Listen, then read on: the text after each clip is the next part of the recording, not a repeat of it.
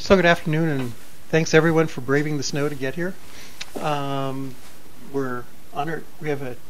We're honored to have a tag team of two of our EOL staff for giving today's EOL seminar. Mike Daniels, the head of our CDS Computing data and software. Computing Data and Software, uh, and Charlie Martin, who's also in the group. And Charlie's distinguished by having this year re- received our the NCAR UCAR Outstanding Achievement Award. Um, you're number six in all of UCAR or something like that. That's not handed out very often. I wasn't counting. Something. anyway, uh, they'll be talking to us about um, new ways to collect data. Real time. And uh, so I'll just go ahead and start. Thanks, Steve. okay. Um, first thing I want to say is uh, I'm the principal investigator of this uh, award. It's an EarthCube award, and so this is the team. You know, these are the team members. So I'm representing the work of all these uh, uh, great uh, team members we have. Um, so with that, uh, the CHORD stands for Cloud Hosted Real Time Data Services for the Geosciences, and so hopefully by the end of this presentation you'll understand what that means. Um, you know, real-time data is uh, critical and, and growing importance. We we know that very well in the observational community. Um, you know, there there are real-time uh, measurements of floodwaters, um, tweets, uh, real-time tweets that describe uh, hazardous events, and then of course in EOL we do a lot of these uh, field experiments where we're you know, trying to observe a, a, dynamically changing phenomenon. And we have aircraft, we have radars, we have uh, surface instrumentation that we're trying to coordinate around that storm to, you know, to take the very best measurements. And of course, real-time data is really key to that. We need to, you know, get a, a good uh, uh, picture of the situation in order to um, uh, you know assess it. Same thing happens in the oceanography community, for example. So there are kind of episodic real-time events like our field programs, and there's this sort of measurement of the ambient uh, condition, um, and uh, you know to detect events that occur. So I don't know how many folks know about this, but there's this concept of the Internet of Things. It's essentially saying that uh, every many many more devices are going to be connected to the internet in the future. Um, you know, your watch, your phone. Um, I'm a fisherman. I, I, I, decided to replace my 14 year old uh, fish finder, and it has an internet connection, and it uses it to you know uh, to, to download maps and to send position data to a crowdsourced map. So um, this notion that many many more things are going to be connected to the internet is is what one thing that's driving uh, the importance of real time data. But of course, uh, watches and, and not everything can be used by the geosciences community. So we're really focused on geosciences things, um, and that that might be uh, you know a, a surprising uh, area. You know, things might pop up in, in areas that you may not expect. For example, we were at the AGU last uh, December, and there's a, a fellow at Berkeley developing an application called MyQuake you know the gaming community is is developing accelerometers and really fancy uh, capabilities in these phones, but they can actually also be used for things like detecting earthquakes and trying to you know help put those uh, data into a, another crowdsourced model to predict where they'll go. So I think that uh, the Internet of Things is going to change the way we think about um, uh, the everyday devices that might be connected to the internet. Dan. So crowdsourced usually means that, that people are funding it. Um, but you mean now crowdsourcing people are crowds are providing data. Exactly. Yeah. Um, in this in this particular case, the application called MyQuake runs on your phone in the background and, and reports data. So you do have to have uh, you know ha- have that app installed and running. In fact, he told me that one of the early uh, designs of this uh, uh, uh had had challenges in terms of the battery consumption. So I'm not saying these are easy uh, you know, problems, but it is a different domain. You know, with all of these devices connected to the internet. Um, so EarthCube in about 2012 decided to do domain workshops. So geosciences domains being ocean, you know, the oceans, the hydrology, atmosphere, uh, earth, solid earth sciences, and um, Vonda and uh, NSF uh, you know, asked what uh, what workshop uh, might be appropriate for our domain, you know, the atmospheric sciences domain. And I decided to think about it a little bit differently in terms of a technical domain that I thought could cross geosciences. So we uh, got funded to put on a workshop to, for uh, real time data in June of 2013. It was about 70 to 80 folks around the geosciences that came and gave us their ideas, their projects, and uh, we generated a report. Um, some of the highlights from that report are that th- there needs to be improved community infrastructure. Everything from communications from the sensors to the to the internet to uh, on-demand computing and protocols for data exchange. Um, there was very little metadata being generated for these streams. They just sort of popped in and, and you sampled them and displayed them, and, and, there was no tracking of the provenance of where these uh, data came from, and you know metadata describing the measurements in more detail. Um, the, the community felt that we needed tools to integrate um, and display these data from differing time and uh, space domains. You know, things are coming at very different rates in very different parts of the world, and um, to have one infrastructure that could kind of assimilate that and and uh, you know, use that in, a, in an effective way was something the community needed. And then, um, along with real time data, comes the actual control of the instrumentation at times. So, uh, in our case, we have an aircraft flying, and uh, I wouldn't say control is the right word, but guidance to you know to, to where the aircraft flies is another important aspect of real time data. And of course, in um, in many sensors, that can be done in an automated way, and, and EOL has examples of that as well. And then we want to integrate some of these real-time uh, data with, uh, you know, the folks that are actually uh, uh doing emergency management. Um, an example I heard of in, um, at the ESIP meeting in January, uh, we're using UAVs, you know, to do a sort of a, a, photographic survey of damaged areas to try to help the emergency managers target, you know, the areas that really needed attention and ignore others uh, that looked okay. So um, that's a real a strong connection in terms of hazards and, and things like that. And then um, the whole area of social media, apps, um, and crowdsourcing was another um, uh, identified need from this uh, community. As I was saying, you're going to have there, there, are many more devices that are going to be connected to the internet in the future. So that's the summary, uh, some the highlights of that report. It's all available online. I'd be happy to share that with you. Um, and as a result of that workshop, um, we uh, submitted a uh, building block proposal in EarthCube. Now, EarthCube, if you don't know, it's an initiative that uh, covers the geosciences. They have uh, both building blocks and then um, what are called research coordination networks, which are more like workshops, you know, to gather feedback. Building blocks are actual tools or prototype tools, and so we submitted a, a proposal in 2014 with these. Um, uh, areas. Um, you know, we, we, we identified that uh, real-time data has some unique challenges compared to the retrospective data, and it's really important to get it right the, you know, as you do the sampling because otherwise, you know, the data downstream is uh, of, of lim- limited use unless you, you know, take very good measurements in the front front end. Um, we we wanted to use a cloud-based infrastructure uh, for this, and we we uh, understood that there are many real-time systems around the, in the geosciences. EOL has some. There's an IRIS uh, group that does uh, seismic sensors. Uh, an oceanography group uh, also has sensors on ships, and so in those cases we would fork those streams. You know, stay stay going. The data would stream to their existing systems, but then would fork to CHORDS so that it could be accessible by a broader community. Um, you know, less overhead and, and a simpler access.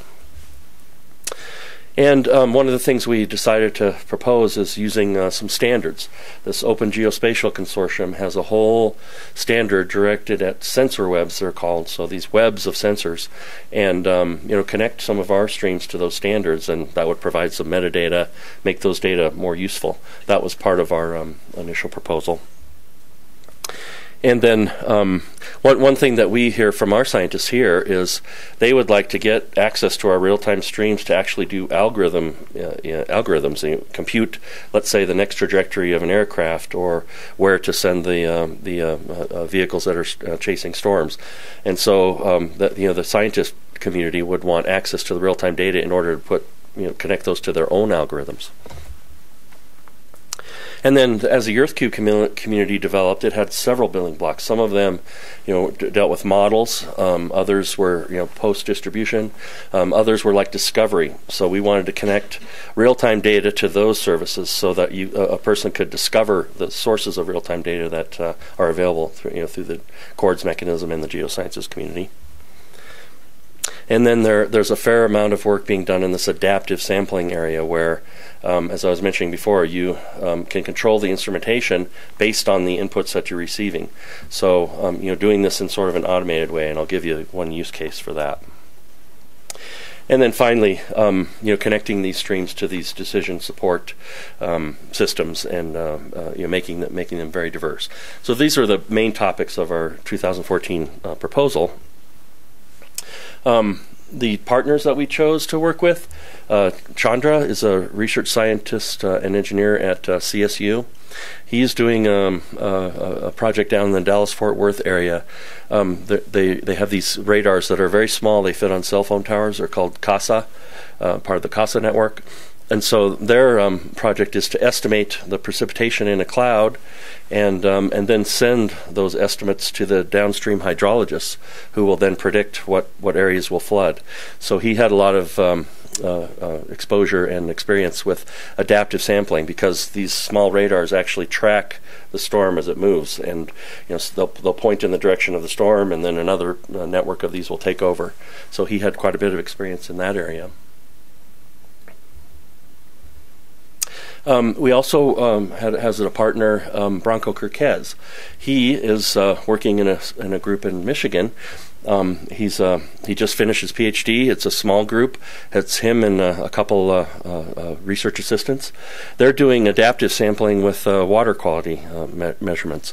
And so um, one of the issues, one of the challenges with these water quality instruments is um, they're they're solar powered, so they, they they, they have to have to be careful with their power consumption, and and actually um, they they routinely sort of do sort of a slow sampling um, rate to to sort of save on power.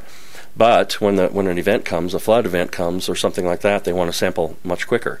So what what he's actually developed is something that goes to Weather Underground to get forecasts to tell his instrumentation, you know, in these streams to start sampling faster.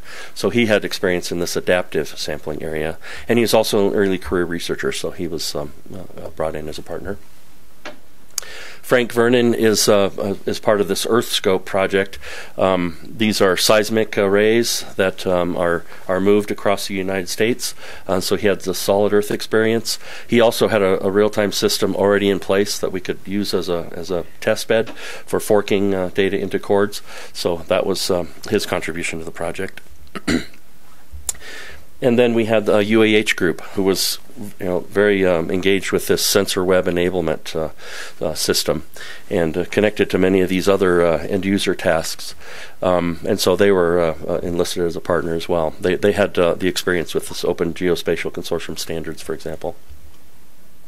Here in EOL, um, our contribution, you know, this is an example of what we what we show in the field. it's a situational awareness display of aircraft um, we have the video, live video coming down from the aircraft during missions. We have satellite data, radar data overlaid with the tracks, in term, and we use this to guide the, the missions.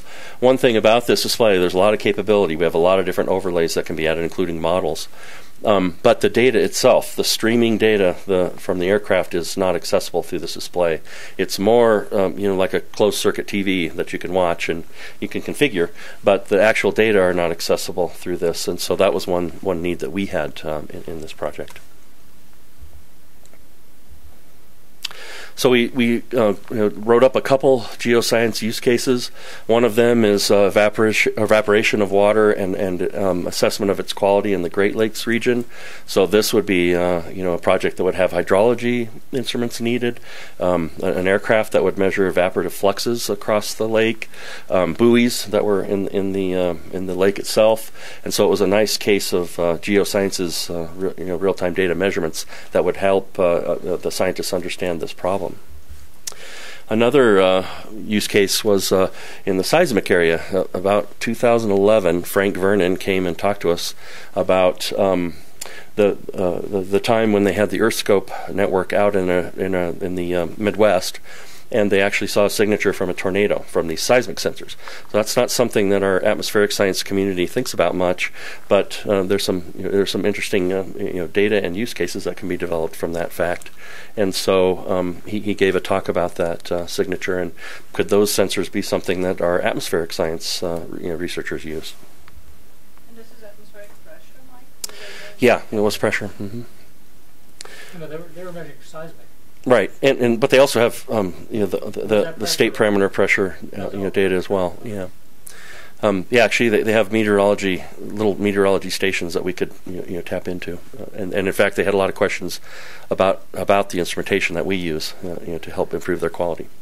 So um, we did submit the proposal, um, but uh, we had uh, we, we got approval for a scaled back version. Um, it's uh, essentially what we what we decided to focus on instead is just expo- exposing this concept to the broader geosciences community that you can actually develop a common you know real-time data system that could apply to a lot of instrumentation uh, across the geosciences. Um, we were we were starting uh, we, we proposed to start ad- adapting and testing some diverse real-time streams beyond just atmospheric science sensors, um, and then we would test this Open Geospatial Consortium uh, SWE infrastructure with these streams. And um, then, then one other part of the, our proposal is that we would we connect our streams where possible to these other existing building blocks as part of the EarthCube um, e- ecosystem. So we began by you know focusing on these very small measurement teams.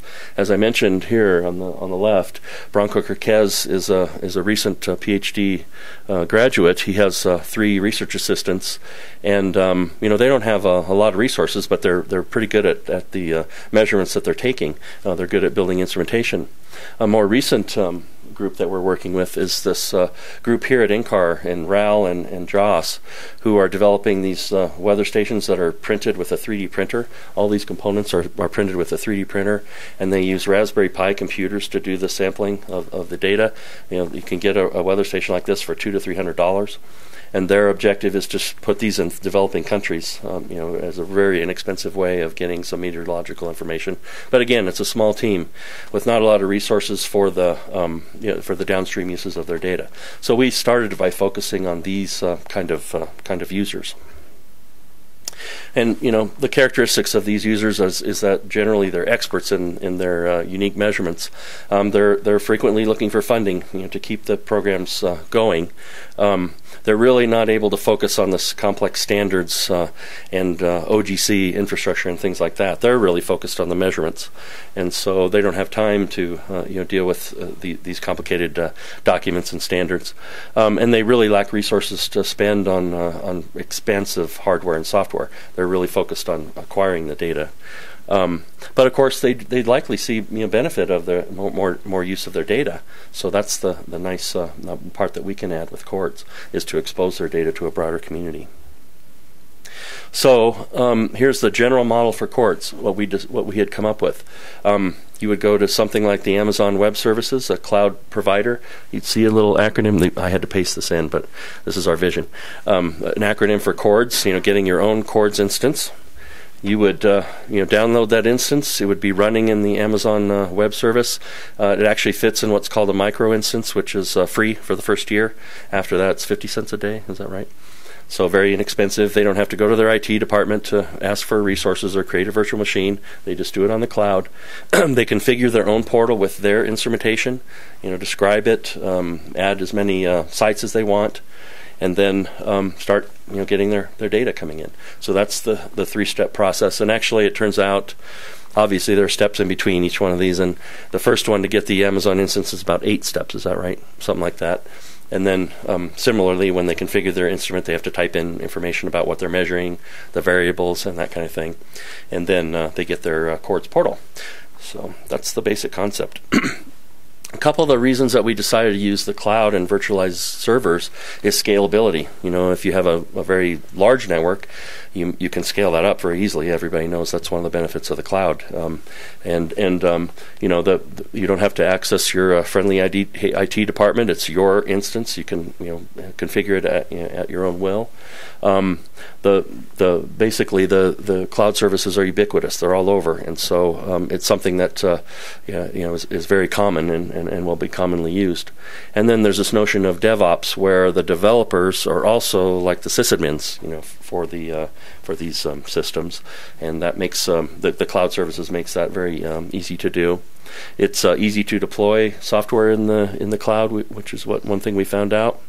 And then um, these development environments can be generic enough to work on, on many different uh, cloud providers. It's pretty agnostic to what cloud provider we we we, um, we would use, and, and then that makes the software uh, easier to install on, on, on many different systems. So when you're um, when you've got your CHORD instance going, uh, the next thing you want to do is start sending data to it. And so we've given a couple um, examples in um, in Python and in wget, um, but it is as simple as typing a, a, web address with the the variables and the values in your web browser. and of course, uh, most uh, scripting languages can can uh, send an HTTP request. I'll break that request down a little bit so you can see what, what I'm talking about. Um, you know that that first uh, host name is your portal address. Um, you have an instrument ID, you know, if you have several instruments at your site, and then you, the wind direction is uh, 121, the wind speed is 21.4. Those are the actual values that uh, that uh, you're inputting into the system. So you type this into your browser, and you've just entered one point into the system. So you know, what would you what you do is connect that up to your sensors, have it start spitting out HTTP uh, uh, requests each second or each uh, some period of time, and um, and that's very simple for, for folks to do. You know, this is how you get your your, your uh, data into the system. How, how do you get your instrument to do that? I know how you type it in, but what does your instrument need to provide that? Yeah, you, um, and, and in fact, um, we have we have quite a bit of experience with communications, but that can often be the weak link. You know, weak link if you don't have cell phone coverage uh, or you know or something like that. But of course, you you, you, you could use a, a satellite uh, connection if you want. So um, yeah, we do assume that there's some basic data communications uh, capability, and in fact, I think we've helped help them understand uh, uh, what what's available in, in some of our uh, some of those cases. But yeah, you do have to have a basic internet. You have to have a connection to internet. What do you want to say, Charlie? And, and Jeff, also, um, you know, all have computers in them nowadays. Yeah. Running software, and as Mike was saying uh, in the previous slide, you have a little Python script that does that. Can you go back to that slide? Sure. That just does that. You see those three lines of code. The red. So you have to write a little bit of code to So that. you provide help with that code?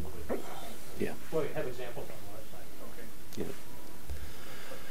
Um, but that is a good question. You have to have basic connectivity. Yep. So Dan. um, this key, I don't know whether that's Oh, okay. or- and also Sure, mention um, that. authentication. I mean, how, They're related, actually.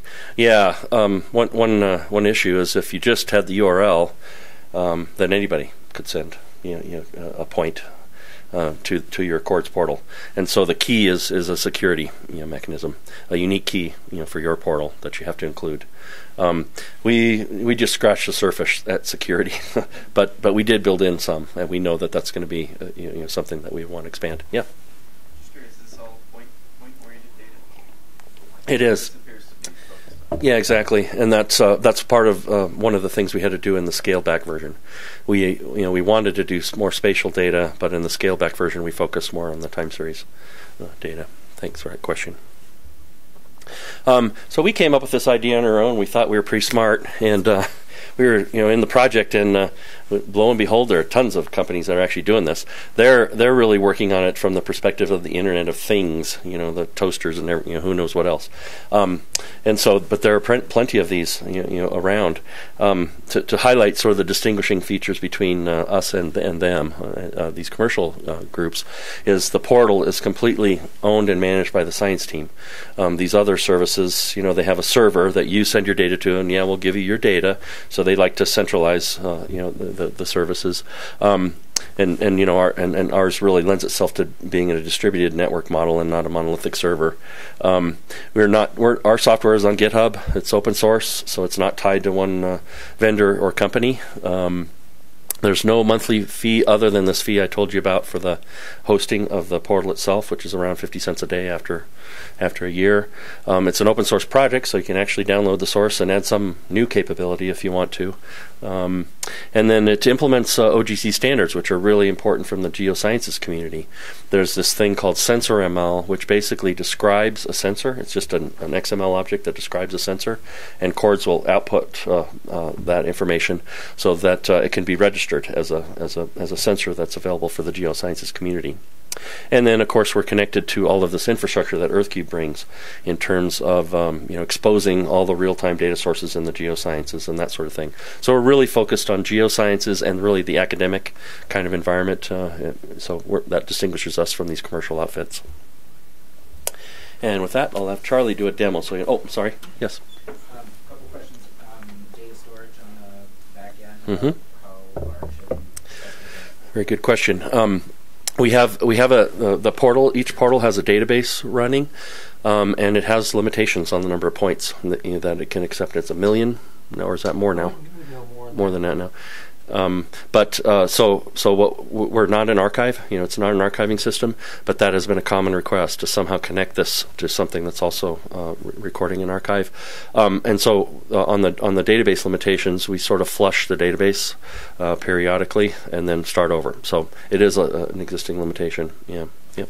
And then access control, you mentioned uh, for entering in data. What about um, the ability to, to limit who can access? The, Yeah, so the portal has uh, logins, logins and passwords. So, um, you know, that, that that's all, again within the control of the team. They, they you know, we, they, we give them a default admin account, and then they can add as many as they want after that.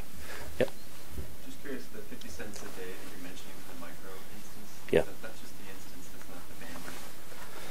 Is that correct? Uh, for the kind of data we have here, our bandwidth is in the noise compared to what Amazon wants to charge you for. Yeah. When, when you do the cost, the estimate, the cost estimates on Amazon, that doesn't show up. Bandwidth going. It's bandwidth going out, not in. Right? Yeah, that's a good point. I'll help you, Eric. Yeah, it's cheap to get it in, then we try to pull it out. Yeah. Yeah, well, but it's still really small. I mean, for the kind of use case that we're looking at, that I don't think would be a- an issue at this time. And the other thing I'd say is um, we're not. Uh, I mean, it's open source and it's contain. It's it's a package that can be moved to another cloud service or even a virtual server. So there's nothing in the architecture that prevents it from running, you know, in other places if that be, were to become an issue. I was talking about, you guys have a Docker container or something? No, I, I, I, I, We're headed that way. yeah, we're headed that way, but we don't at this time. Okay, so let Charlie do a demo so you can understand more.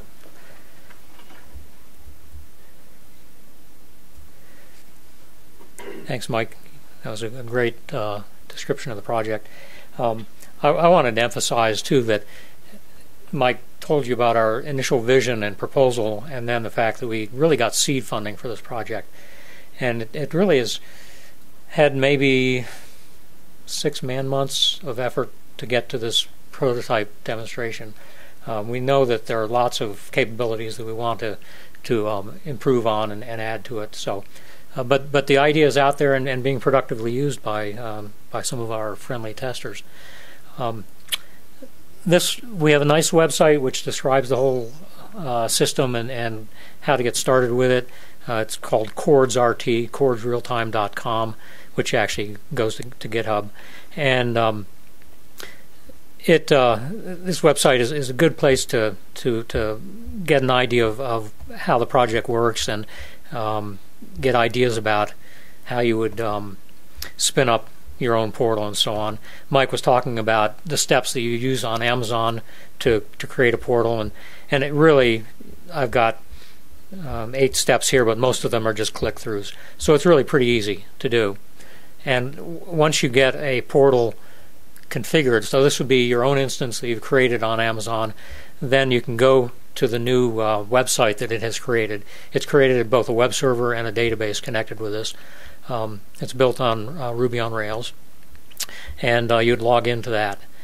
And this is what the the front page of a portal looks like. We call it the dashboard. This is kind of the default place to go take a look at what your portal is doing, and this gives you different. Um, uh, time span display of um, measurements, the number of measurements that have been coming in from your instruments, and the uh, the idea is at, a glance you can tell if things are, are working or not. This is not the data itself, but just the number of measurements that, that you've gotten. Um, this is uh, kind of our testbed portal that we're putting some. Uh, we've got the three NCAR weather stations going into it, plus the weather station in my house, and um, it, it gives you an opportunity to kind of look look around. So the um, uh, the dashboard is really the first place that one goes to look and see how, how things are doing. Ma- Mike mentioned that all of the data goes in via URLs. The green banner up here at the top shows you the most recent URL that's come in with data. It's just sort of a sanity check to see how um, uh, if your system's working. Let me get myself logged in here.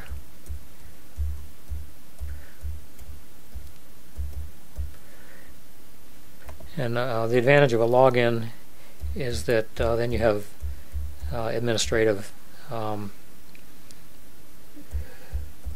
access to the site.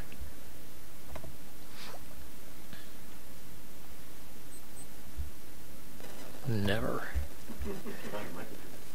Okay, so uh, now that I'm logged in as a uh, as an administrator, I've got more access. There are more options on the left side here.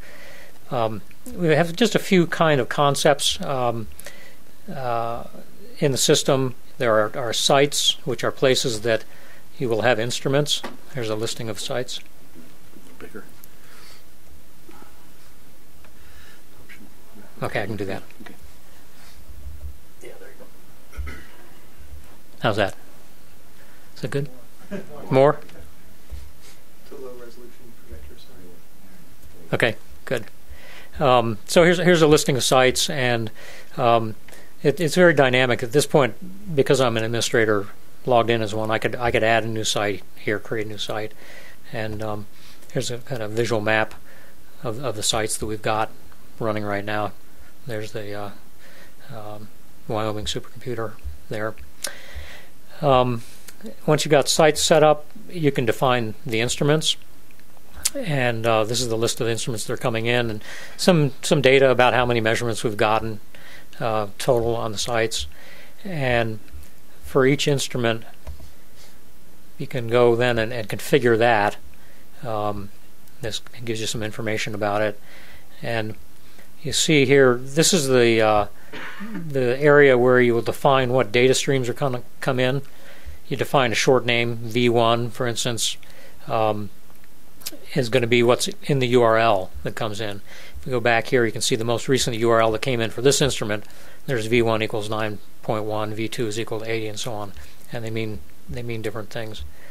Um, I'm going to go back to the to the list of instruments, and we'll take a look at one that has variables that make more sense. So here you go. This is a the weather station at, at Foothills Lab, um, and you can see the short names that were assigned to the variables. And finally, there's a, a, graph at the bottom that lets you take a kind of look at your data and see if, if things are are um, looking reasonable or not. This is just a standard web uh, component, graphing component from HighCharts, and it'll update um, automatically. One of the um, nice features we've got is that when a research group is setting up uh, a portal like this, um, they can um, run a simulator and uh, for all the instruments you've made, it, it, gives you the simulation capability. If I hit this button right here, um, it would start sending simulated data to the portal, so you can it'll start sending simulated URLs, and uh, that way you can test everything even before you put an instrument out in the field to make sure your portal seems to be configured properly. So that that's uh, really useful. Um, let's talk a little bit about getting data out of the portal.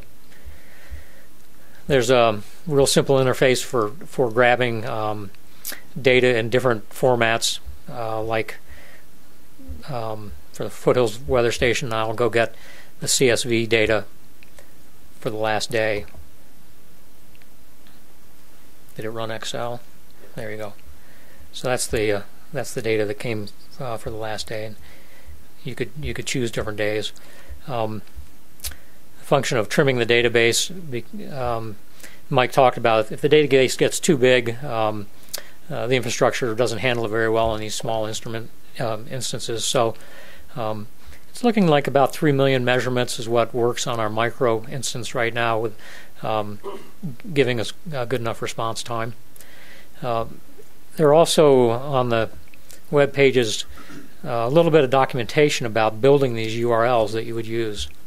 So you can go over here and you can see this is an example of the kind of URL that you would use to put data into the into the portal, and this is how you might get data out of it. And uh, let's just try one of these. I take this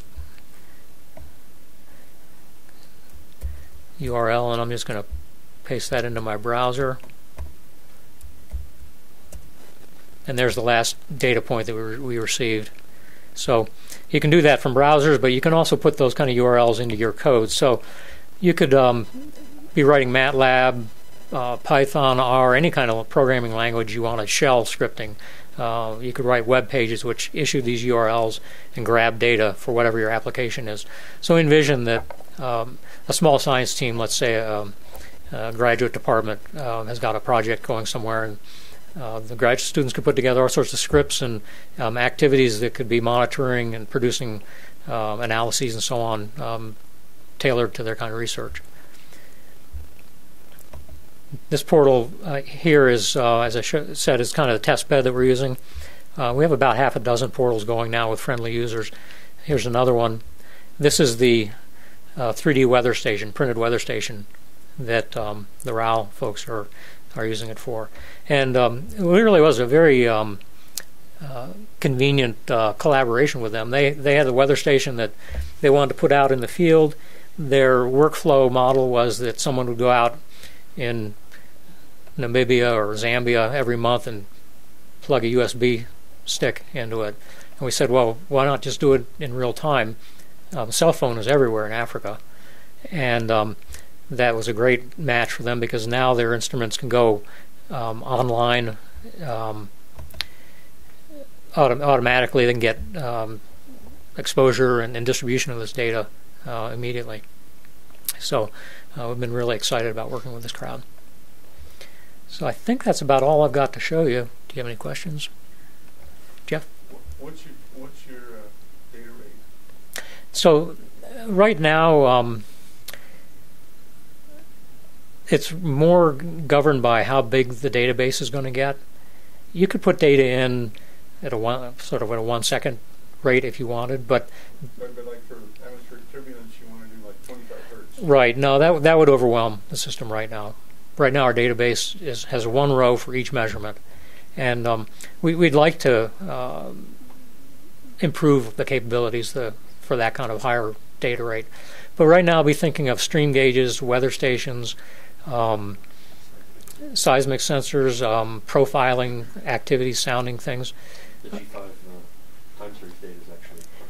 Yeah. Um, The one low rate. yeah, the low rate data. Conceivably, you could batch your, your updates, though, Yeah, yeah, you could. That that's an area that we could we could look into. Yeah, this is um, data from the G5 from from ORCAS. Okay. So, so the, the reason there are gaps is because the, the aircraft flies on certain days and others. So, but, uh, but the, but one of our scientists here is, is accessing uh, the real-time uh, time series data from G5 for his um, algorithms and plots actually during this field program that we have going on right now in Punta Arenas. And and and this is a little bit bogus. Um, I didn't have time to organize this. This is all 102 variables that are coming down, which I really need to break up into ins- different instruments. Um, right now, having to pick one of these guys out um, doesn't make sense. But uh, you know, it's an example of. Um, it's been great to demonstrate how easy it is to get to fork data from other sources and bring it in here. So um, I I didn't have access to write software that runs on the aircraft on our G5 but I knew where the database was here, so I wrote a little script which queries the database. It gets triggered by the database on the ground and puts data into this instance. And so we, we've added um, you know a bunch of different instruments um, and, and projects set up portals for them. Steve? And, and of course, I mean, with, with our flux stations, of course, we could be pushing the derived flux Absolutely. every half hour, half five minutes, or Right. whatever. Yeah, and actually, um, we've talked to Gordon about um, putting a um, a CHORDS hook into NIDAS, which would be really trivial to do. It's a really dumb question. It's really exciting, by the way. Um, Sorry? What's preventing, I'm a non-CS person, the um, ex- scaling of this to the to a um, cloud-based archive to the? Oh, If this is all in the cloud, you've got terabytes of Amazon. Storage. Yeah. What, what's development time, Yeah, just, just staff. You know, what's that? Okay, so there's nothing technical. No, not at all. No, and and we keep hearing that that uh, they want archive as well. You know, it, it was really designed as a communication scheme that let people get real time uh, observations out out to the world on the internet easily. And uh, they're saying, yeah, we want that, and we would like archiving. So um, that's that's something we'd like to put in, but it's beyond the scope of the current project. Are there constraints in like the time so that can I put in say an hour of forecast or a day of forecast, and then as I put in real data, compare it to the forecast? Or? So um, absolutely, you could. If you look at this, um, well, this is this is not a good example. If if you just send a data without a timestamp, it gets stamped with the time of that that it received it. Um, but you can add a timestamp, and um, I'm going to show you that that field. So the point is that you can put data in after the fact, Or which would be before the fact? or or before the fact. yeah, that's right. Um, Your initial URL or Mike's URL had time. that's right. Do you have an example? Yeah, I guess this one's not doing that either. Um, yeah, let's go to the URLs. Oh, that one's not going to let me do that. Yeah, I, I remember. I remember seeing Yeah. that that you kind of specify the time, but I'm just thinking that that it wouldn't block you from putting in something that's before the real the current time. That's right. No, no, you can specify the time, forward or back. It it doesn't matter. It just goes in the database with that timestamp. That's a good question. Is, is EarthCube an NSF initiative? Who's behind all this? It's the uh, NSF Geosciences Geosciences. Directorate. Is anyone else, are there directorates using this? The directorate's under Geo only. Oh, Yeah. So I, I heard mention of OGC standard sensor melons, the SWE. SWE. Uh, how exactly is that used here? The sensor ML, you're to click on the sensor ML button up there, Mm, We're right to the top, third line down. all right So here. Yeah. Sensor ML is the main. Yeah, and um, and actually, I mean, you can look at that if you want, but um, actually, this uh, is connected to the to to a UAH um, uh, server that handles some of the MPC uh, information, but we haven't expanded that very much. I think what what we found in this project is you know kind of you know, developing this concept. We got a lot of uh, users interested in sending their data to it, and so we configured the portals. We made that very streamlined. Um, we, we tested the implementation on a variety of different kinds of sensors, so that really took most of the most of the time of the proposal. Um, but we have connected uh, our streams to, to some of the UAH um, OGC SWE. It's a full SWE implementation, SWE 2.0, right? Yeah, that and and there, there's really a lot of promise there. That's one of the distinguishing features for us is that we, we want to develop that more, to where um, a hydrologist can bring up a portal, easily put their data into it, and say, I can also get it out to all of these other bigger services that I know nothing about. You know, um, we're not there yet, but that's that's one of our goals. So I can show the architecture. Okay, yeah. One last question. Yeah, to follow up on that, uh, how much of the richness uh, query um, through the OGC services has been surfaced through the RESTian interface so that you can slice and uh, get slices of time or space or like? So this is um, is really the front end, and would be feeding systems that have that capability. It's not built into this capability, and we really wanted to have something that's simple, that's really comprehensible for the small researcher, and then the ability for it to couple seamlessly to bigger, more um, capable systems. That actually brings us right to the architecture. Uh, how do I get over? Oops. Command tab.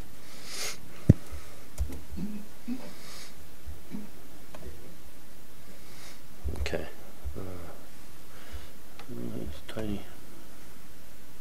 Okay, so um, yeah, and that, that you, you've, you've hit on the architecture know, for the chord system, and um, as you, you can see the all the portals on the on the left. So these are the things that the instrumentations teams primarily would be focused on, making sure their measurements are coming in, assessing the quality.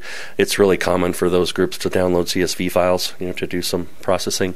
Um, but then those are connected to more advanced services, uh, you know, just the, just via the URLs that uh, Charlie talked about um, you know, for processing, translation, mapping, visualization, and then um, the, the whole set of EarthCube building blocks would follow some of these OGC standards.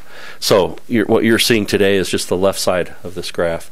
Um, but really, we have to get the data in order for the for these downstream things you know, to happen, and we really wanted to prove that uh, this you know, that a general concept could apply in lots of different kinds of sensors. Um, but that's certainly a, a development. Uh, uh, that we w- want to uh, pursue in the in the future. And thanks for that question. That's good. Um, here's an example of uh, I did talk about the fact that we were putting our, our data into the OGC uh, SWE um, implementation by the UAH group, and and you can hardly see it, but um, you'll you'll be able to see some of the um, water gauges uh, overlaid with radar data. This is the Geo Explorer application that you may have heard of um, that follows those standards. So um, I think the next question uh, we get asked is why should NCAR you know be involved in this? Um, I'd say, you know, at a much, much smaller scale, um, we can develop services that are agnostic to the types of data, just like the FTP. It can be documents, it can be data, it can be images. Um, and so you know, you know, we feel that we can uh, develop an, a, a, system that's agnostic to the type, type of data that's applicable to our data and, and the broader geosciences. Um, that's of benefit to us. Um, we can by being involved in this development we can shape you know what it looks like and um, you know make sure that we have some of our requirements uh, into that uh, um, uh, uh system development. Um, this also makes it easier for our, our scientists and engineers at NCAR to access our data. Right now, the, there's a range of, of ways to do that. Uh, some require database expertise. Um, some uh, have, have other uh, software that you just download. So we really wanted to target this very simple approach of just URLs, you know, to, to get access to the data. So it, it makes those data more accessible to NCAR scientists and engineers here. And then um, you know, this will this will be a way for us to gain awareness of other uh, operational systems as we do these field experiments in EOL, for example. Um, it's it's very common for us to tap into existing mesonets that are sampling uh, data. So this will give us some exposure to maybe these uh, these networks of uh, sensors that we didn't know about um, through, the, but they're using CHORDS, for example. And then um, there are very common uh, challenges uh, in terms of de- deploying sensors around the world, for, especially with communications and and uh, you know, things like that, signal processing. And so this kind of builds this network of uh, scientists and engineers that are that are doing that that we can tap into, and they can tap into us, you know, for for actual deployments. And then um, what we really learned a lot about during this project is experience in, in how to deploy software uh, in the cloud and actually uh, the advances that have been made in visualization through a web browser. That was something we uh, that uh, Gordon had uh, dabbled in uh, at, at, about the same time that, that this project came up. But this is going to prove to be a very valuable tool and, and, and skill set for our future displays. And I really think this is a development that's appropriate for a national center. We're, um, you know, we're really focused on real-time uh, measurements. Uh, th- th- that's not uh, uh, uncommon within the geosciences community, and so it's something we can share and lead uh, the community in. So I have some that's my presentation. So I just have some uh, questions that I'd like to pose uh, to the group, especially uh, you know providers and consumers of, uh, of, of real-time data. But um, what are some other sources of real-time data that we might uh, need or might be useful for for field experiments? Jeff. Dan. I, I, would be happy to work with you in getting MOPITT data uh, in, in there, but I I, I think that um, because because MOPITT data is uh, not really point source or points, I was thinking about using this as a way of tracking file names, and and mm-hmm. so that there'd be a time series of our granules. People would find that those, and then that would create uh, FTP uh, locations that's similar to the use case that the NOAA fellow asked us about, right, with the radar data uh, coming in. Yeah, that's a good, good one. I'll, I'll, I'm happy to work with you on that. Yeah, great. That's great. Other ideas? I'll give you one. Good. Uh, what about if you've got these sensors in various parts of the world? You'd like to co-locate data that would be comparable in space and time Okay. Such yeah. as, for example, radar data that was co-located with the precipitation gauge. Nice. The precipitation gauge is in your network, but the radar data is also accessible. But you, you want to be able to tie a specific piece of radar data to that geographical location and, and time. Nice. Um, yeah. So come up with a way of, of doing that would, would benefit both sensors. Right. Right. Good one. That, that sounds like sort of an OGC function. It does. Yeah. other Charlie? I just wanted to, I, I forgot to mention that right now we're strictly focused on time series um, data, but the, a few simple um, data types that I think will give us a lot of leverage would be um, some imagery capability. Um, you could uh, post an image, uh, medium, moderate sized image every few minutes or something like that. Uh, that would be a common use. And then also some kind of profile or sounding data type is another very common sort of ray type of data. Um, I think people would find very useful as well. Okay. Yeah, we had. Uh, oh, sorry, Steve. I was thinking of a, a field experiment that's more like a emergency management situation on demand. Yeah. You know, could people prepare sources and get it all working, and then if the need arises, you just turn on the switch and you start collecting all the information for emergency management Oh, nice. situation. Yeah. A flooding, a, a big storm like we had yesterday, or, or Right. whatever, as a an instance that would just pop up and then start collecting the data you needed to Yeah. further advise decision makers, et cetera. Great. I was going to say we we um, uh, have interacted with these uh, th- some of these small research teams that are operating UAVs, and it's primarily imagery. Is what what I could, at least the pe- people we've been talking to, but um, that, that and, and they and they use it for emergency management, for example. Chris. So imagery in mind, I agree that would be super useful. Yeah. Um, but it seems like sending images by a URL is a pretty difficult proposition. And yeah, we, we'd need to go to a, another transport mechanism. That's clear. HTTP, HTTP is set up for that. Um, we use the post method. Uh, you shouldn't be using GET in the first place. Um, but post, you can do file uploads. It's already supported in HTTP. Okay. I think Thanks. Works great for the ease of use, but not really intended for that. Yeah, that's right. Now we've Yeah. kind of hijacked it. Great. Thanks for that. Um, now on the consumer side, um, you know, I, what- one one thing I would mention here is that Mel Shapiro, a scientist here, gave a talk about uh, what what if we could take the aircraft uh, in situ data and feed that into a, a, uh forecasting model that then predicts in real time where the storm is going to be you know, using using some of those data. It was an interesting concept, and of course, some of the some of the uh, constraints were uh, in in getting access to the data. But this might open the door for something like that. What are some other scientific needs for um, deve- algorithm development or models? Uh, real real curious what people think. Uh, you have some,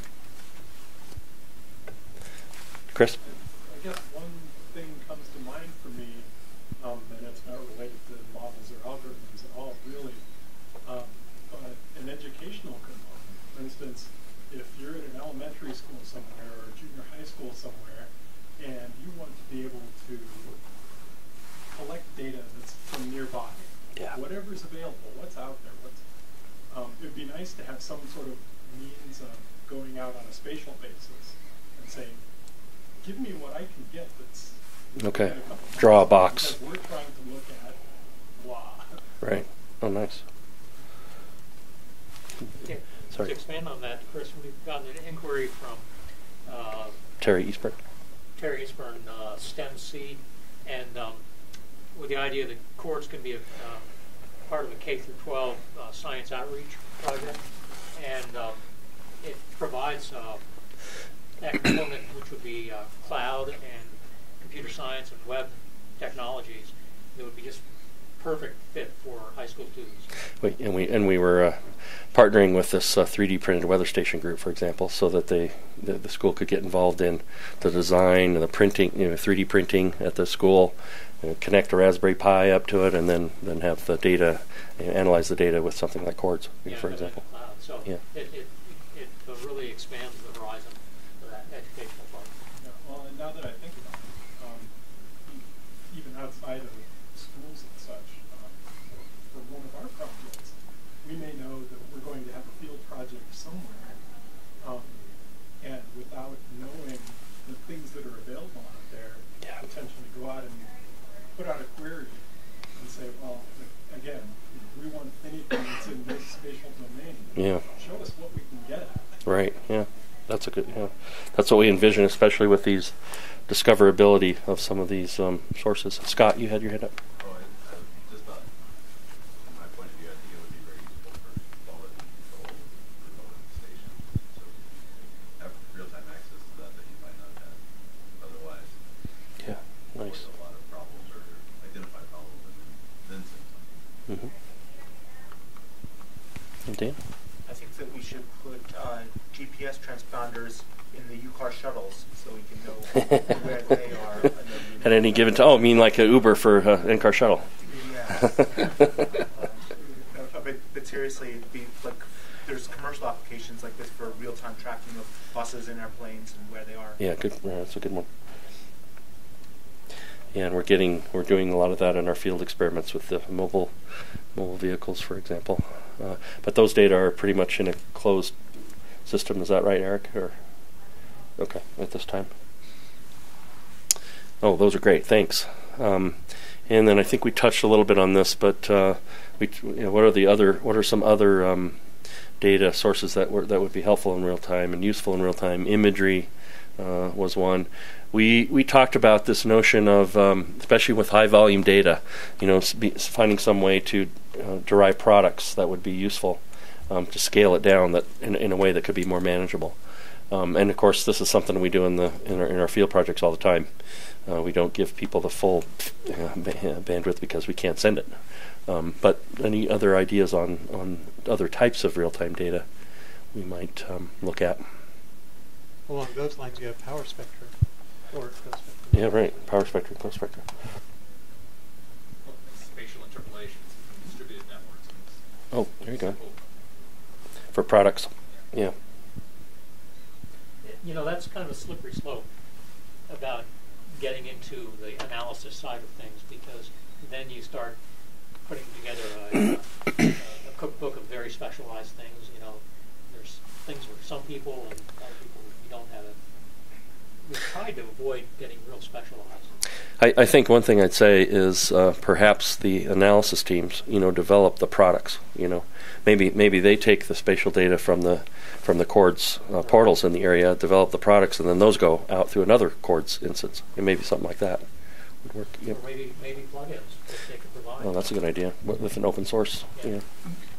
I, I, I, I think you have to think of real time in a little bit different perspective, and that is that a lot of the things that we're trying to do in meteorology is we're trying to forecast what's going to happen in a specific place.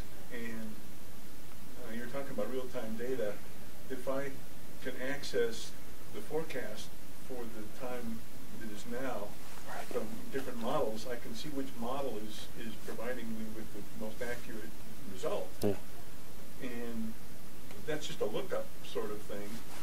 And, you know, you've got things like weather stations and, or aircraft or whatever, but they're, they're, geogra- they're ge- geographically spaced and they're sampling at a, at a given time a real variable. Right. And you want to be able to compare that with, with The model. very model, with different kinds of model output to see which model is, is, is producing the, the right output. And so this kind of a, a structure lends itself to being able to do that for a variety of different locations that, that might be really useful. Uh, if you do it for one location and one model, you can do it easily for a dozen locations. Right. Common interface. Yep, Dan. You you had that comment about uh, the 25 hertz uh, uh, observations. I was thinking of maybe that if there's a time series that's very high uh, temporal resolution, that you could do like a Fourier transform, break it into components, and just store the components, and then that way you have sort of a, a time series at much lower temporal steps. That Mm, that's a good idea.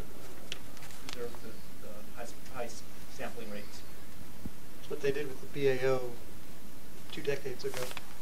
that's when they about- where they're limited by storing data on Yeah. alleys. Simple correlations very disparate data sets looking at Yeah. Geosciences, uh, yeah. That's a great example. Yeah. Yeah, I think these are great ideas about how we distinguish ourselves from the Internet of Things. Yeah, right. The types of things we're trying to do with that data are quite different. Those are great. All right, thanks so much for that feedback. Um, that's all I had, uh, you know, for the presentation. Uh, check out chordsrt.com, and uh, uh, here's the email address for the for the team if you have uh, further questions. And I really appreciate your your suggestions, and uh, and thanks for being here. Thanks.